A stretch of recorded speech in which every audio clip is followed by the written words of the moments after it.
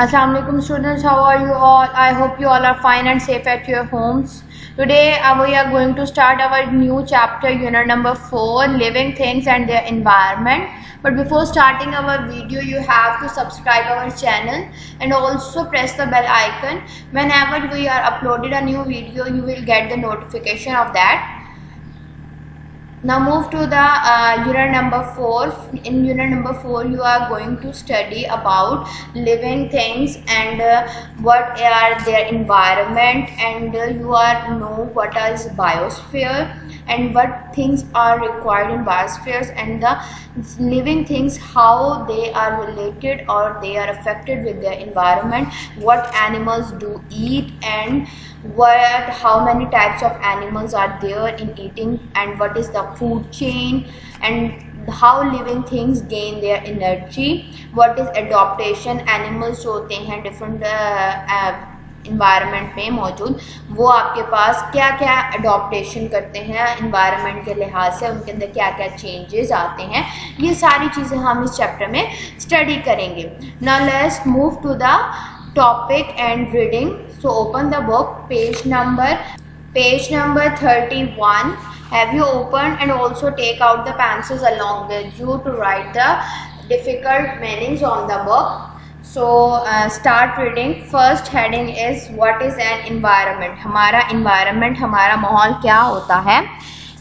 Everything on the earth is either living और non living the non living part of the earth is made up of rock soil water air and sunlight the living part is made up of plants and animals तो वो कह रहा है, हमारे इर्द गिर्द ज़मीन में जितने भी लिविंग या नॉन लिविंग लिविंग कहते हैं जानदार को और नॉन लिविंग जो गैर जानदार चीज़ें हैं, उन सब का जो मजमु होता है, उन सब का जो हिस्सा होता है, उसे हम क्या कहते हैं? ज़मीन इन्वायरमेंट कहते हैं। The non living part of the earth is made up of rocks हमारे पास गैर जानदार चीज़ों में क्या आ जाता है? पत्थर, मिट्टी, पानी, हवा, रोशनी, ठीक है? हमारे इर्द गिर्द जितनी भी चीज़ें हैं जो मूव नहीं कर सकती, जो ग्रोथ नहीं कर सकती, और जिनकी कोई ग्रोथ नहीं है प्रॉपर कोई नशोनुमा नहीं होती। उनके, उन चीज़ों को हम क्या कहते हैं? नॉन लिविंग थिंग्स कहते हैं। और जो हमारी सनलाइट या पानी या फ़ूड से हमारी चीज़ें ग्रोथ करती हैं, उनको हम क्या कहते हैं? लिविंग थिंग्स कहते हैं। The living part is made up of plants and animals हमारे इर्द गिर्द जितने भी पौधे और जानवर हैं इवन यहाँ तक के इंसान जो हैं, वो भी क्या आते हैं? लिविंग थिंग्स में आते हैं। लिविंग पार्ट में आते हैं। Living things depend on each other as well as non-living things for food, energy, sport and shelter. जानदार जो चीज़ें होती हैं, वो एक दूसरे पर इसार करती होती हैं। यहाँ तक कि वो नॉन लिविंग थिंग्स पे भी इसार करती हैं। नॉन नॉन लिविंग थिंग्स उन्हें क्या दे सकती हैं? खुराक देती हैं एनर्जी देती हैं, उनको तहफ़ देती हैं और रहने की जगह देती हैं। All those things that are around an organism and which affect its way of life are called environment. तो हमारे इर्द गिर्द रहने वाली हर वो चीज़ जो हमें मुतासर करती है और जो हमारी ज़िंदगी का हिस्सा है या जिससे हमारी ज़िंदगी का तरीक़ाकार बदलता है, वो सारी चीज़ें हमारे इन्वायरमेंट कहलाती हैं। जैसे कि अगर हम इसमें एग्ज़ाम्पल लें हमारे पास हमारा स्कूल है। स्कूल में आप आते हैं डिफरेंट क्लासेस होती हैं। आप क्लास में हर टीचर आपको आपके सब्जेक्ट के अकॉर्डिंग आपको पढ़ाती है। तो वो जो सब्जेक्ट लेकर आती है जैसे अगर साइंस अब हम पढ़ रहे हैं तो ये जो साइंस के बारे में हम डिस्कशंस करें ये हमारे इर्द गिर्द जितनी भी चीज़ें हैं जो हम रखेंगे या जो हम यूज़ करेंगे वो हमारे साइंस के इन्वायरमेंट को डेवलप करेंगी। सो so, जिस तरह के एरिया में आप रह रहे हैं आपके इर्द गिर्द जो चीज़ें आपको अफेक्ट कर रही हैं वो सारी आपके इन्वायरमेंट में आती हैं जैसे आपके रूम है आपका घर है तो वहाँ पे आपके इर्द गिर्द रहने वाली चीज़ें जो आपको अफेक्ट करती हैं वो सारी आपके इन्वायरमेंट में आती हैं The number and type of animals and plants that live in a particular environment depends upon the amount of rain, sunshine and the temperature of that place. तो आ, कोई भी तरह के जानवर और पौधे जो उस इन्वायरमेंट में उस माहौल में रहते हैं वो डिपेंड करते हैं उस एरिया में होने वाली बारिश।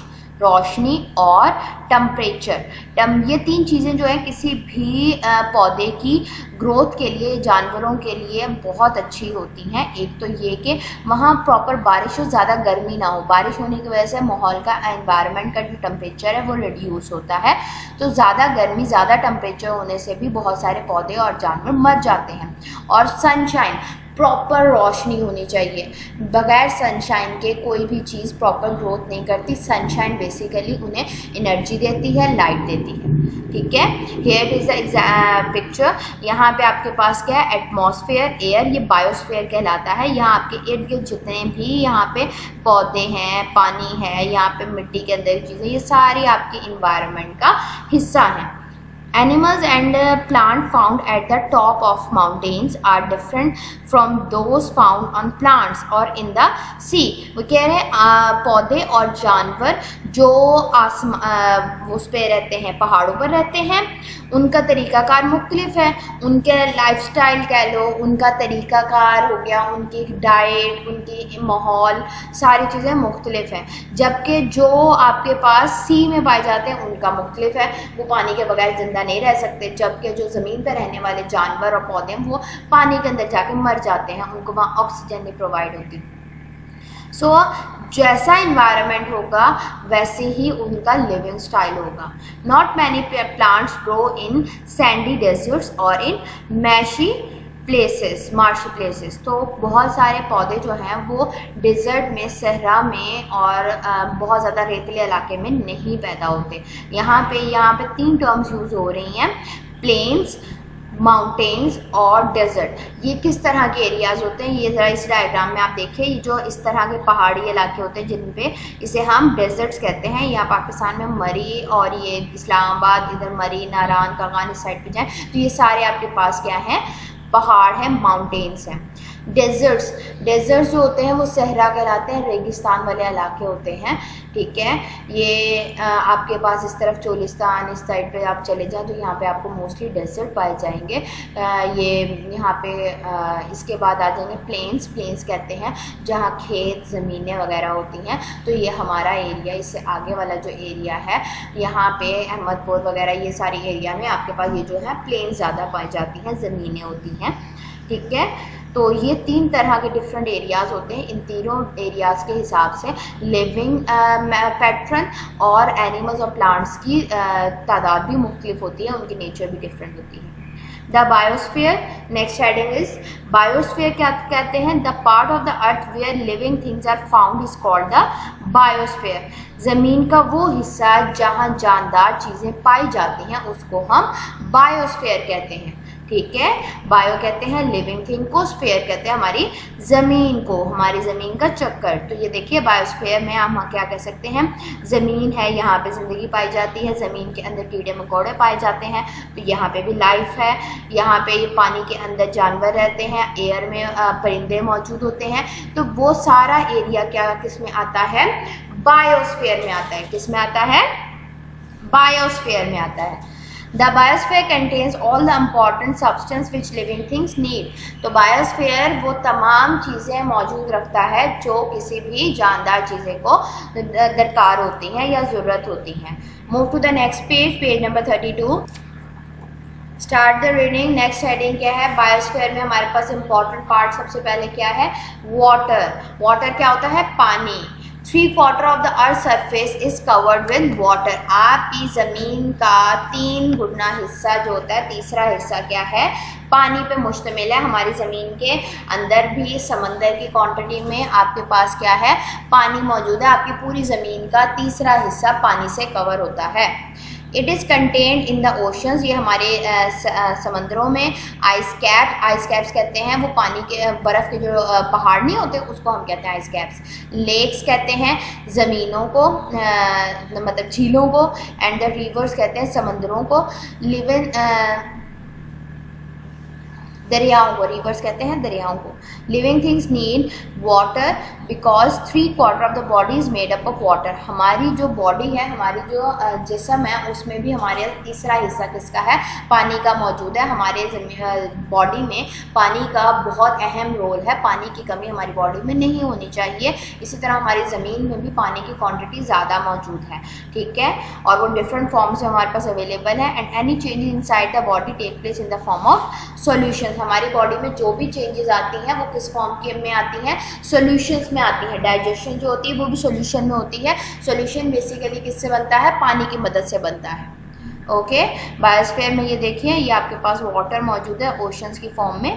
ठीक है? यहाँ पे जो लाइफ होती है, उसको हम हाइड्रोस्फेयर बोलते हैं। एयर देखिए एयर कहते हैं हवा को about one fifth of the air is gas called oxygen हमारी जो हवा है, उसमें हमारी जो एयर है, उसमें ज़्यादा हिस्सा किसका पाया जाता है? ऑक्सीजन का। और हमें लाइव रहने के लिए, ज़िंदा रहने के लिए सबसे ज़्यादा किस गैस की ज़रूरत होती है? ऑक्सीजन की ज़रूरत होती है। हमारे पास अगर ऑक्सीजन ना हो तो हम ज़िंदा नहीं रह सकते। इसीलिए अल्लाह ताला ने हमारे सिस्टम में एयर में मैक्सिमम क्वांटिटी किस चीज़ की रखी है? ऑक्सीजन की रखी है, ताकि हम आसानी से सांस ले सकें। Living things takes oxygen out of the air when they breathe जब हम सांस लेते हैं या जानदार चीज़ें जितनी भी सांस लेती हैं, वो क्या करती हैं? ऑक्सीजन लेती हैं हवा से। Breathing helps to produce energy for the body हमारा सांस लेना मदद करता है ताकि हम क्या करें? एनर्जी पैदा कर सकें, अपनी बॉडी में ताकत पैदा कर सकें। कोई भी काम करने के लिए हमें क्या ज़रूरत होती है? ताकत की ज़रूरत होती है।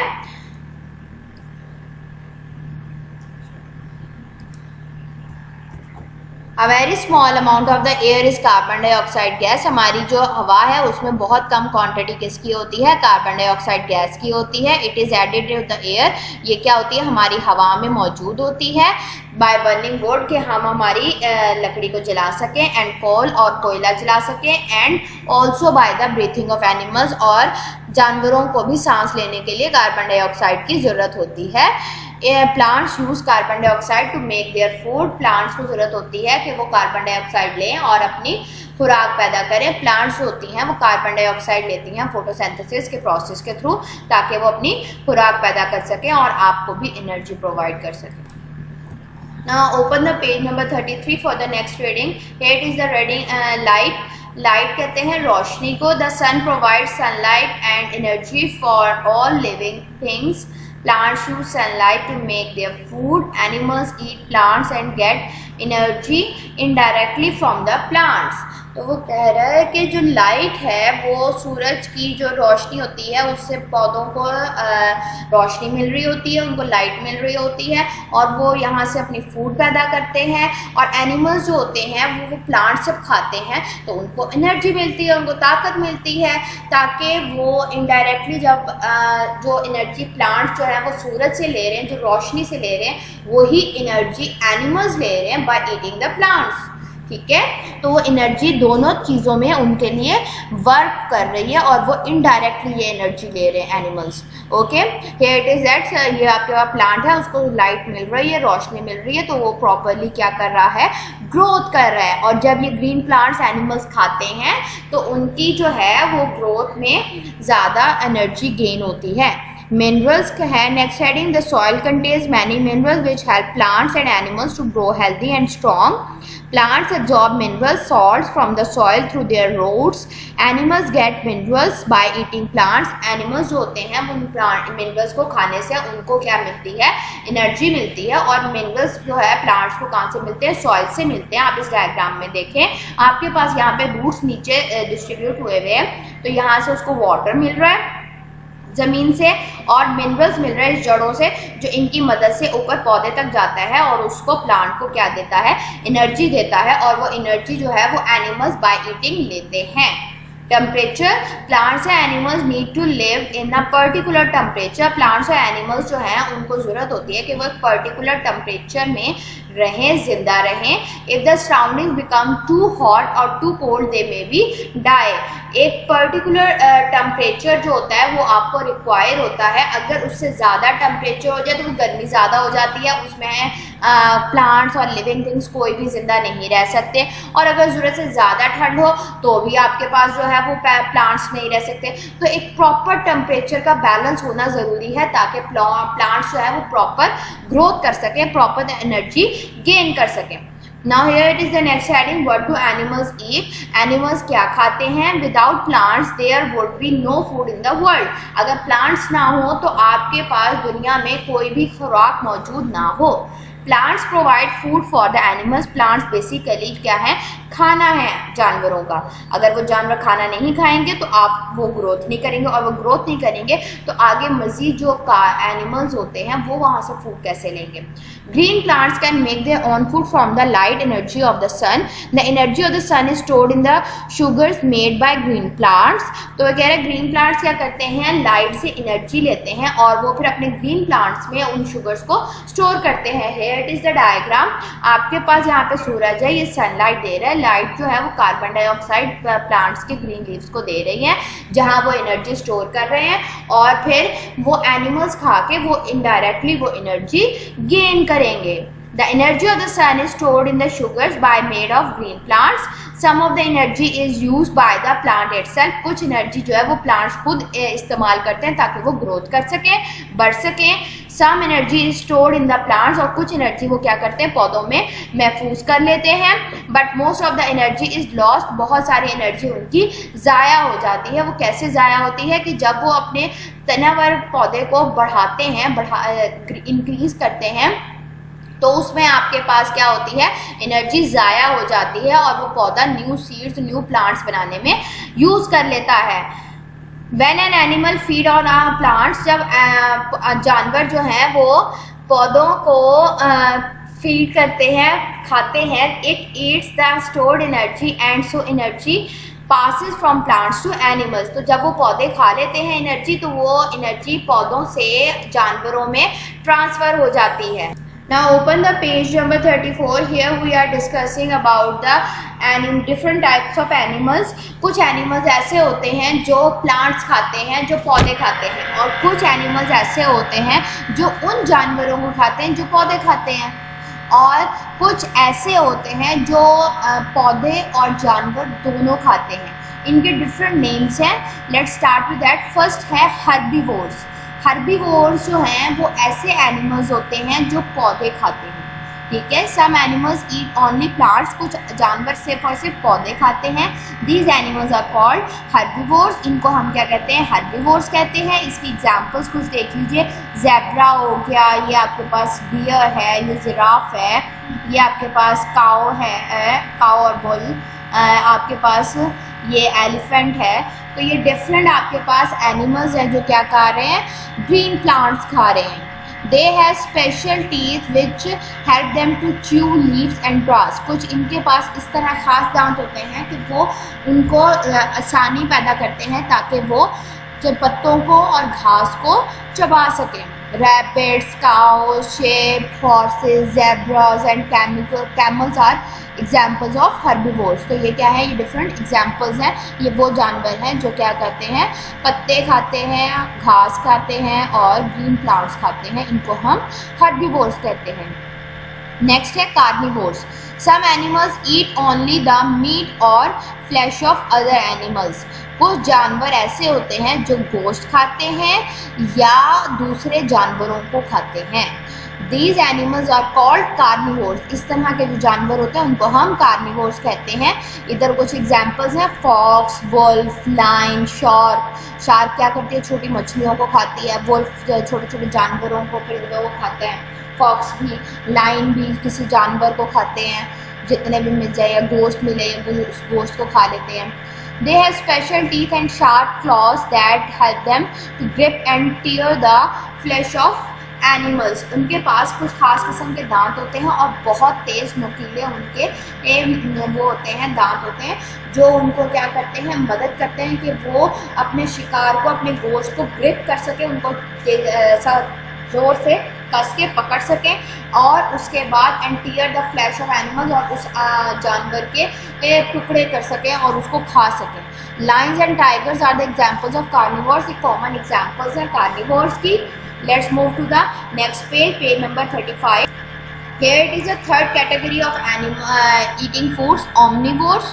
Omnivores ऐसे ऑर्गेनिजम्स होते हैं human beings and some animals are both plants eat both plants and animals omnivores वो होते हैं जो प्लांट्स और एनिमल्स दोनों खाते हैं.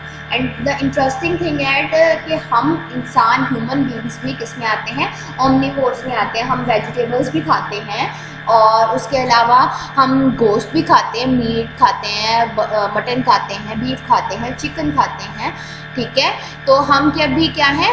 ओमनीवोर्स हैं। तो ह्यूमन बींग्स के साथ साथ कुछ एनिमल्स ऐसे भी होते हैं जो हरे पत्ते वगैरह, घास वगैरह सब कुछ खाते हैं और जानवरों को गोश्त भी खाते हैं। दे आर कॉल्ड ओमनीवर्स इनको हम ओमनीवर्स कहते हैं। Bears hands and crows are example of omnivores यहाँ पे और डिफरेंट एग्जाम्पल्स दी हुई हैं। बियर है, ये पेग है, ये ह्यूमन बींग है। टर्टल हो गया, आपके पास डॉग हो गया माउस या रैट हो गया, आपके पास ये डिफरेंट एग्जाम्पल्स किसके हैं? ओमनीवोर्स के हैं। Energy for living things energy living things जो है वो एनर्जी कहाँ से लेते हैं? All living things need energy हमारे पास तमाम लिविंग थिंग्स को एनर्जी चाहिए होती है। They obtain the energy from food उनको एनर्जी कहाँ से मिलती है? खुराक से मिलती है। Green plants are called producers जो एनर्जी पैदा करते हैं, या एनर्जी देते हैं, उनको हम क्या कहते हैं? प्रोड्यूसर्स कहते हैं। ग्रीन प्लांट्स को खाने से जानवरों को एनर्जी मिलती है। ठीक है, और उनको खाने से दूसरे जानवरों को कार्निवोर्स को एनर्जी मिलती है। तो आपके पास green plant basically first step है किसका? एनर्जी का। तो उसको हम क्या कहते हैं? प्रोड्यूसर कहते हैं। Because they make their own food वो अपनी खुराक खुद पैदा करते हैं सूरज से रोशनी लेके। They use sunlight to make food by a process called photosynthesis photosynthesis की मदद से ये आपके पास क्या करते हैं? अपनी खुराक पैदा करते हैं। यहाँ पे एक टर्म है, मैंने आपको लास्ट स्लाइड में डिस्कस किया था। हमारे पास फोटोसिंथेसिस का प्रोसेस यहाँ पे हमने मेंशन किया हुआ है। इस डायग्राम में आपके पास ये फोटोसिंथेसिस का प्रोसेस है। यहाँ पे सूरज से रोशनी ली जाती है। ये मिनरल्स और रूट्स कार्बन डाइऑक्साइड होती है और फिर ये कार्बन डाइऑक्साइड एयर और वाटर मिलके क्या करते हैं? इसकी प्लांट की फ़ूड बनाते हैं जो उसके लिए फोटोसिंथेसिस का काम करती है। ठीक है? Now let's लेकर look next to the the animals and humans can not make their own food animals और ह्यूमंस क्या करते हैं? अपनी खुराक पैदा नहीं कर सकते. दे आर कॉल्ड कंज्यूमर्स उन्हें हम क्या कहते हैं? कंज्यूमर्स कहते हैं. Because they obtain energy from plants by eating them उन्हें कंज्यूमर किस लिए कहा जाता है? क्योंकि वो अपनी एनर्जी दूसरे पौधों से या जानवरों से लेते हैं. इसीलिए उन्हें क्या कहा जाता है? कंज्यूमर्स कहा जाता है. Many small uh, organisms such as bacteria and fungi feed on dead plants and animals. They release the chemicals from dead plant organisms into the soil and to help to keep the soil fertile. These microorganisms are called decomposers. ठीक है हमारे पास कुछ ऐसे organisms होते हैं जो अपनी खुराक मरे हुए पौधों से और जानवरों से लेते हैं। इस तरह के जो टर्म्स होते हैं, उन माइक्रोस्कोपिक इनको हम बगैर माइक इनको माइक्रोस्कोपिक ऑर्गेनिजम्स इसलिए कहा जाता है क्योंकि इनको हम बगैर माइक्रोस्कोप से नहीं देख सकते, अपनी नेकेड आइज़ से नहीं देख सकते। इसलिए इनको हम क्या कहते हैं? डीकम्पोजर भी कहते हैं। इनके नाम, इन माइक्रोस्कोपिक कंपाउंड्स के नाम क्या है? ऑर्गेनिजम्स के डीकम्पोजर्स कहते हैं इनको। क्योंकि ये अपनी खुराक डेड एनिमल्स और डेड प्लांट से लेते हैं। ठीक है, अब हम एक रिव्यू यहाँ तक हम अपनी रीडिंग स्टॉप करेंगे। इससे रेलिवेंट हम क्वेश्चंस करने से पहले हम एक रिव्यू ले लेंगे हमारे पास किसका? हार्बिवोर्स का कॉर्निवोर्स का और ओमनीवोर्स का। हेर्बिवोर्स वो होते हैं जो प्लांट्स और वेजिटेबल्स खाते हैं। रेब्रा रेबिट काओ ये आपके पास डिफरेंट एलिफेंट ये डिफरेंट एग्जांपल्स हैं हेर्बिवोर्स की। कार्निवोर्स ऐसे होते हैं जो गोश्त खाते हैं और दूसरे जानवरों का गोश्त खाते हैं। ये हो गए lion tiger snake fish shark ठीक है? ओमनीवर्स होते हैं जो वेजिटेबल्स और मीट दोनों खाते हैं। इसमें बियर पेग ह्यूमंस चिकन ये सारी इसकी एग्जाम्पल्स में आती हैं। Now move to the question answers of this chapter question here it is open the page number open the page number forty it is the first question. Why uh, you have to write the answer on your notebook. Why are plants so important to life on earth इसके अलावा ये आपके पास question answers आपके resource pack में भी available है। You have to collect it from the head office answer first question is all the food in the world comes from the green plants इस दुनिया में जितनी भी खुराक है, वो हरे पौधों से मिलती है। दे कैन मेक फ़ूड वो क्या करते हैं आपकी? खुराक पैदा करते हैं, खुराक बनाते हैं। नेक्स्ट क्वेश्चन है explain how the energy of the sun is pass on to animals हमारे पास सूरज की एनर्जी जानवरों तक कैसे पहुँचती है? The energy of the sun passes from plants to animals हमारे, हमने अभी पढ़ा कि सूरज जो है, वो एनर्जी जो है, वो प्लांट्स लेते हैं सूरज से और उन प्लांट्स को खा के आपके पास एनर्जी एनिमल्स लेते हैं। Now move to the diary here it is the diary. Do reading the page number 31 to 35 आपने 31 to 35 तक आपने अपने पेज की रीडिंग करनी है, जहाँ तक हमने की है और हर डिफ़िकल्ट टर्म को आपने क्लियर करना है अपना कॉन्सेप्ट और उनके मीनिंग्स राइट करने हैं and also learn question A B from resource pack इसके अलावा क्वेश्चन ए बी आपने अपने रिसोर्स पैक से याद करने हैं। Okay? Have you cleared your diary? Now before uploading your uh, new video you have to you have to take care of yourself. Allah